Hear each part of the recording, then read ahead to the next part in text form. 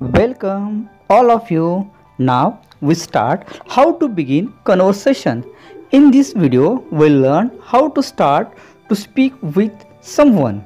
English speaking is the most important thing for all of you. All likes to speak in English but some somebody don't know how to start. Here are some examples, some sentences which are useful for to speak in English. Let's start. Hello. Excuse me. May I disturb you? Namaste, all of you. Good morning, good afternoon, good evening. Can I say something? Hi, friends. Hi, brothers. Hi, sisters. Hey, guys. My dears. All my dears. Sir and madam. Look at me.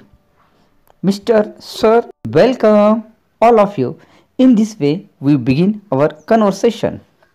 With the help of this way, we can start conversation with friends and others. We should use only polite and decent language. It is the first step of English speaking. Now, I am very happy to listen this video.